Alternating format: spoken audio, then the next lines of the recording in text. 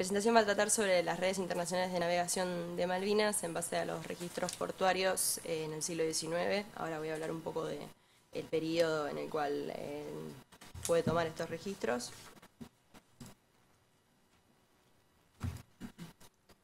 Em, esta ponencia tiene que pensarse en el marco de un, proyecto de investigación más grande, que es el proyecto de que es el proyecto de eh, mi tesis doctoral, em, que tiene que ver con la historia marítima ambiental. Em, no quiero entrar en mucho detalle porque tengo poco tiempo, pero se trata sobre cómo las conexiones marítimas del siglo XIX han hecho un impacto, considerando los patrones de navegación y las conexiones, en el proceso de dispersión de especies en la región. En este primer análisis lo que voy a pensar es, voy explorar un poco la dimensión de conectividad marítima durante el siglo XIX a nivel transnacional, nacional y regional. Em, y para eso me sirvo de dos fuentes, de fuentes que son muy similares y que saco de dos lugares distintos. La que vemos acá es, eh, no se puede leer mucho, pero es una primera fuente que encontré en el Archivo General de la Nación, es eh, sobre los barcos que se acercaban a Malvinas y que se pudieron registrar cuando las islas estaban con el emprendimiento y después la colonia de eh, Luis Bernet en Puerto Soledad. Eh, vamos a ver que em, llenan estos campos de lo que es el barco que viene, cuándo viene, en qué momento se va. Y la segunda fuente es muy similar, eh, solo que es una transcripción. Esta transcripción la hicieron en el Archivo Nacional de Jane Cameron, eh, ahí en Malvinas. Y en, en lo que es este archivo es bastante similar, vamos a ver que los campos que se completan son los mismos, es el mismo tipo de documentación que se ha transcripto. Em, que es un poco, va a ser un poco más rico en detalle en lo que es em, la razón por la cual se acercan al puerto eh, los barcos, pero va a ser em, quizá un poco menos riguroso en cuanto a considerar qué actividad eh, hacían estos barcos, ¿no? Entonces, a partir de considerar esta documentación que tengo, ah, bueno, una cosa que aparece con esta documentación es que muchas cosas aparecen por encima de la mesa, no es todo lo que se registra oficialmente, pero como siempre eh, hay cosas que están por debajo de esto, ¿no? Como que no son oficiales, mucho contrabando, mucho de lo que Susana decía ayer, que muchos barcos se registran bajo una bandera que no son, así que vamos a tomar todos los datos como para explorar estas tres cosas que tengo acá, eh, que en principio eh, le competen a mi proyecto de tesis. La primera es, eh, el primer eje es en lo relativo a las actividades y necesidades que convocaban, que hacía que los barcos lleguen a Malvinas, a las islas y se registren. En segundo lugar voy a hablar del cambio de las relaciones marítimas en el antes y el después de la ocupación británica.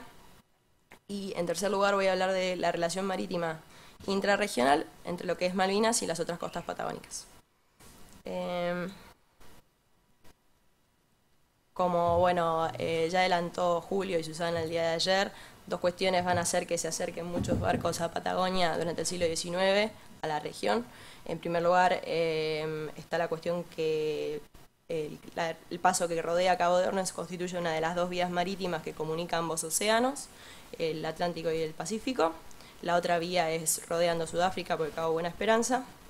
Eh, y eso hace que bueno, muchos barcos que están yendo para el Pacífico para comerciar o viniendo desde ahí eh, van a pasar por la región. No eligen en general, eh, al menos a principio de siglo, parar en la región, en general tocan puertos un poco más concurridos, más cerca del Ecuador, lo que es Brasil, a menos que les pase algo. Eh, de lo que vamos a hablar más adelante. Y otra cuestión que convocaba a muchos barcos es la explotación de recursos naturales, como lobos y elefantes marinos, ballenas, bueno, que ilustró Susana muy bien ayer, eh, hasta temprano del siglo XIX, eh, mi iguano. lo que sucede acá es que las costas patagónicas en el trayecto de esta explotación van a usarse mucho como lugares de descanso, de reprovisionamiento, de trabajo, y se van a establecer en ellas muchas veces eh, lugares de procesamiento de lo que es los productos.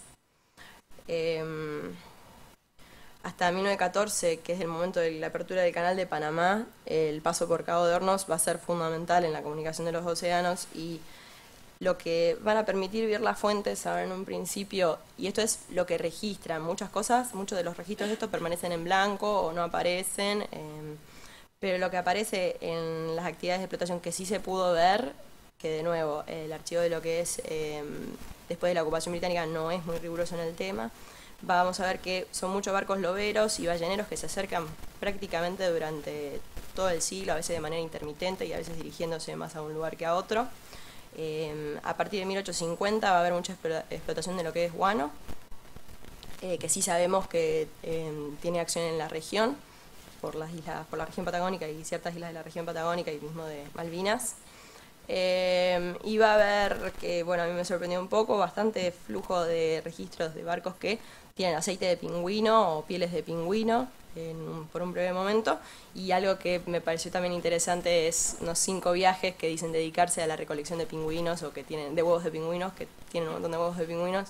Entonces, en un punto es como no dejaron rocas sin mover, ¿no? Es eh, un poco eso lo que, eh, a lo que hago referencia con, todas estas cosas. Entre la cuestión por la cual em, los, los navíos acudían a las islas, vamos a encontrar que la mayoría de los casos por lo que pude ver a grandes rasgos, porque esto es mucho, mucho dato, así que anduve eh, buscando palabras claves que podían hacer llegar. Eh, vamos a ver que muchos acuden al barco por, a, los puertos de Malvinas por reparaciones eh, o por la necesidad de agua. En tercer lugar, por provisiones, que las describen como refreshment, provisions o beef, lo, de, lo que significa carne y lo que no sorprende porque ya tarde en el siglo XVIII Sabemos que las islas son un recurso muy grande de carne por el ganado cimarrón que vaga por ahí y que los loberos y balleneros al menos seguro se acercan a, cazar estos, estos animales. Em, muchos barcos dicen acercarse por motivo de naufragio, es decir, porque rescatan em, algún barco que quedó ahí, porque están rescatando tripulaciones, porque están em, rescatando productos que quedaron, entonces esa palabra aparece en todos lados. Y también en menor medida, deben ser como unas 60 entradas, se registran bajo em, la necesidad de asistencia médica. Entonces tienen, por ejemplo, el capitán enfermo, el primer oficial enfermo, lo que es escorbuto en, en los tripulantes.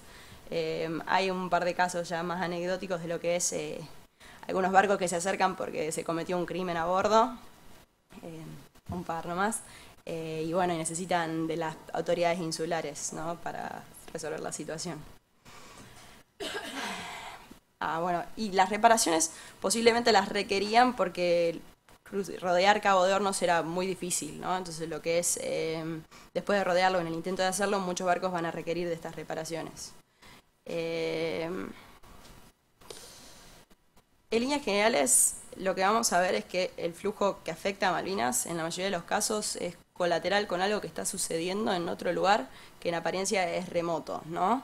Eh, la necesidad de la industria americana o británica de pieles de lobo para producir abrigos o lo que es... Eh, me apuré en pasar la diapositiva, voy a volver.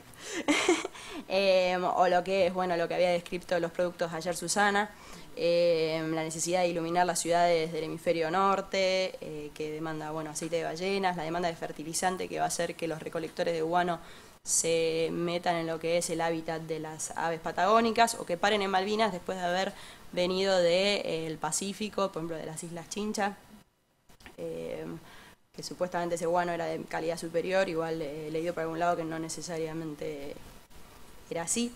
Eh, y no solo va a ser la explotación de recursos en otro lugar del mundo lo que va a intensificar el, flujo, sino también otras cuestiones, otros procesos globales que están pasando. Por ejemplo, vamos a ver un aumento en la actividad de los viajes que se dirigen hacia California en el momento de la fiebre de oro, que va a ser entre 1849 y 1855, entonces ahí, bueno, muchos más barcos em, pasan y se, incrementa que los barcos que van a exactamente a California.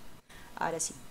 Bueno, Puerto Soledad, la colonia que impulsó Luis Bernat de Malvinas a fines de la década de 1820, tenía una proyección de convertirse en el imaginario de, de en una colonia de pescadores inmigrantes. A largo plazo él incluso dice que em, le sugiere al gobierno nacional que estos, estos pescadores inmigrantes con, las generaciones venideras se van a convertir en leales al gobierno continental y como él lo postula ante el gobierno de las Provincias Unidas, eh, bueno, van a ser un insumo futuro para la marina del país. O sea que él, él tiene esta visión. Em, esta visión que atrunca por los eventos subsecuentes, que no, no me quiero referir mucho a ellos porque ya, ya hay bastante escrito al respecto, pero bueno, lo que sucede en el 31 y 1831 y más tarde en 1833. Gran Bretaña ya va a ser una potencia naval mayor y más conformada para lo que es esta época. Eh, y va a tener los recursos y la experiencia en términos estratégicos para hacer cumplir esta, esta visión que ya tenía Bernet. Eh, luego de la ocupación de las islas, eh, van a mudar la capital en julio de 1845 de la ubicación de Puerto Soledad, que ellos van a renombrar como Port Louis, a, lo que es Puerto Stanley. y van a asegurar, van a asegurar que van a encontrar que asegurar la posesión de las islas estaba directamente conectado por los asuntos marítimos y que este era un mejor puerto para llevarlos a cabo. ¿Por qué? Porque ellos hacen varios relevamientos hidrográficos y por la profundidad de hidrografía encuentran que es bastante difícil entrar a la bahía de Berkeley y que muchos barcos eh, deciden no hacerlo cuando rodean el barco. Esto lo postula Ross Clark James, que es uno de los últimos en hacer un relevamiento hidrográfico de las islas y de decidir esta, esta mudanza, ¿no? y iba a decir, bueno, el cambio de capital tiene que hacerse extensamente conocido para que los barcos mercantes, después de rodear Cabo de Hornos, eh, vayan a este nuevo puerto. Em, y otra cosa que es un, detalle, dice, bueno, el, plan es que Puerto Stanley se vuelva un puerto libre para que recurran los barcos por todas estas necesidades que, que requerían, sin pagar los exorbitantes puertos que les exigían los puertos sudamericanos. Esta es una queja que vamos a ver en bastantes expediciones y en bastantes lugares, como que quizá los puertos sudamericanos están, son muy caros, eh, o eso es, lo, eso es lo que dicen. Antes em, de la ocupación británica, más, volvemos al registro, em, las entradas y salidas de los barcos van a registrar que mucho del flujo que venía era de Estados Unidos, o sea, de barcos que se marcan como estadounidenses, que como decía Susana ayer, no necesariamente es un indicativo de algo porque esta es la bandera bajo la cual se registra, pero siempre nos da una idea, eh, seguido por barcos británicos y en menor medida por franceses. Y em, vamos a ver, a tratar de escalar, que no es eh, de vuelta. El, eh, el archivo este tiene sus limitaciones, ¿no? Entonces sabemos que como ayer hizo alusión Federico, quizás contrataban algún barco para que vaya a la isla de los estados y volviera, pero los barcos que aparecen en el registro que dicen, bueno, eh, van para eh, Freight by this expedition o Freight, que van a proveer a la colonia, triangulado un poco con lo que es la proveniencia, van a permitir constatar un número de alrededor de 10 barcos que van a Malvinas eh, con el propósito de aprovisionarla. Que bueno, no quita que haya habido otro tipo de circulación o que las islas hayan comerciado, eh, la, población en las islas haya comerciado con eh, otro tipo de barcos que pasaban.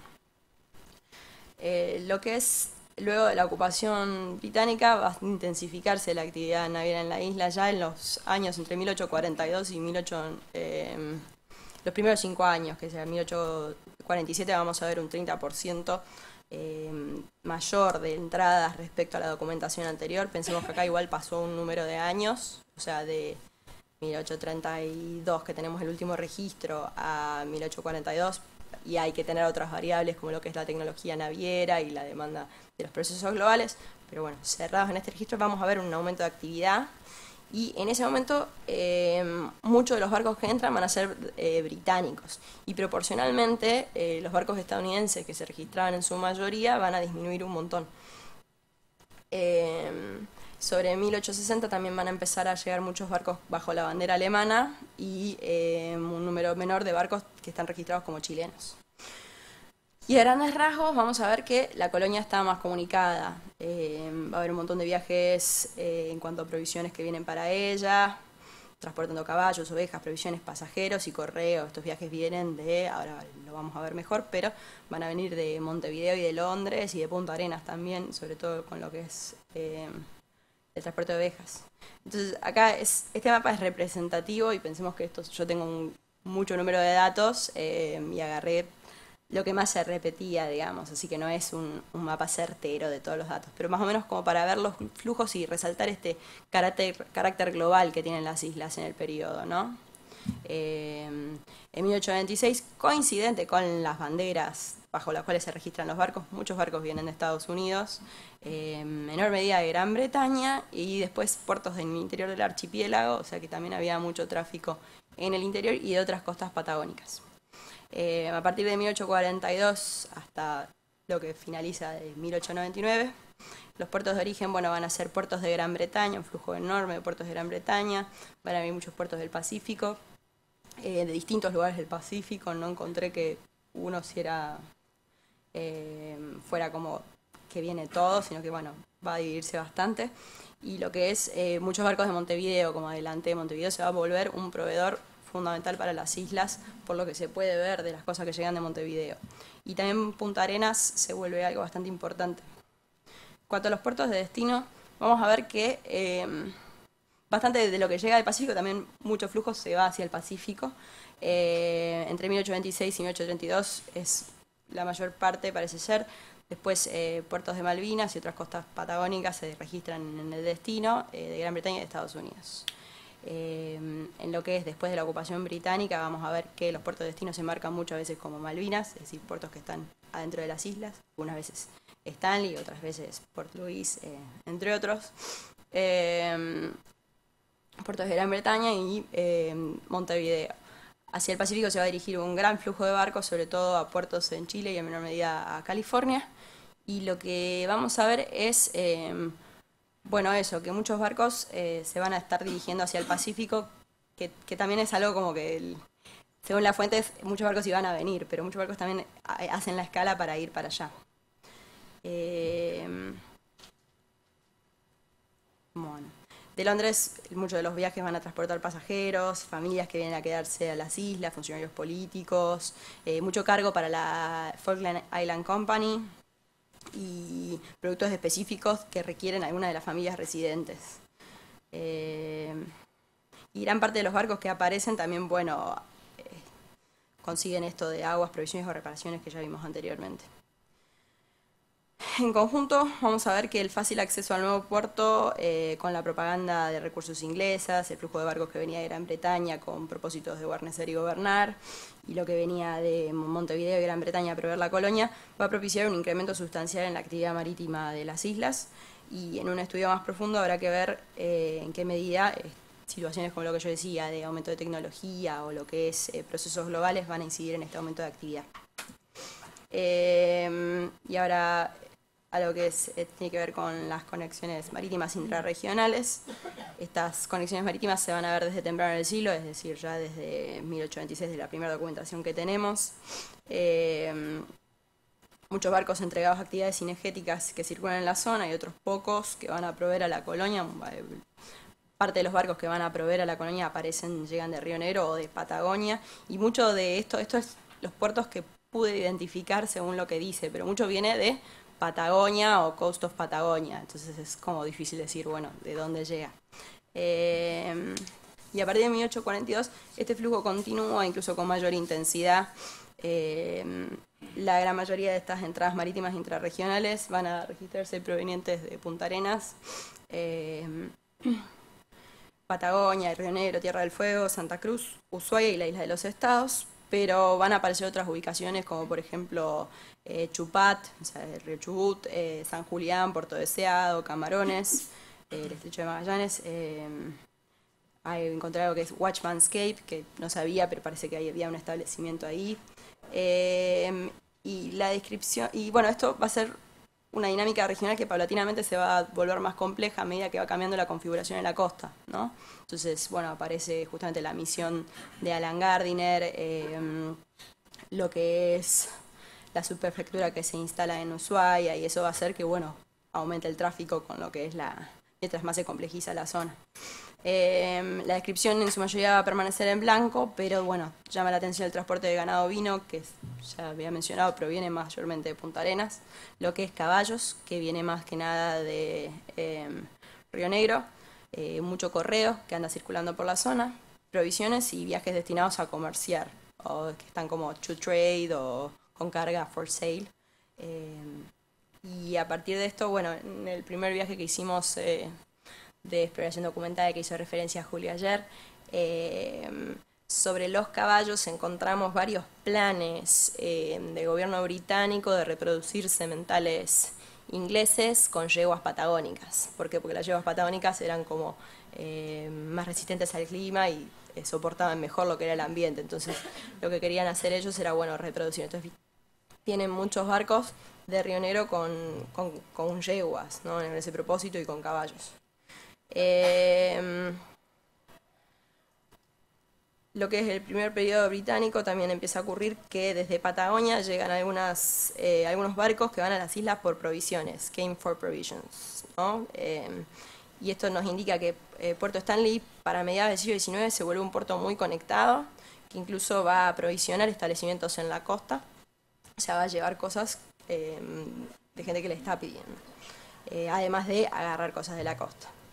Eh, entre otras cuestiones de interés, vamos a ver la circulación de barcos con la colonia misionera en Tierra del Fuego, eh, la circulación de fueguinos que toman. Eh, encontré un viaje donde está Jamie Button, que es uno de los, de los chicos que está en el barco de Fitzroy más temprano que Fitzroy se lleva a Inglaterra. Bueno, aparece en Malvinas. ya, estoy terminando, así que. y, y también encontré varios viajes que registran a Luis Piedrabuena como capitán.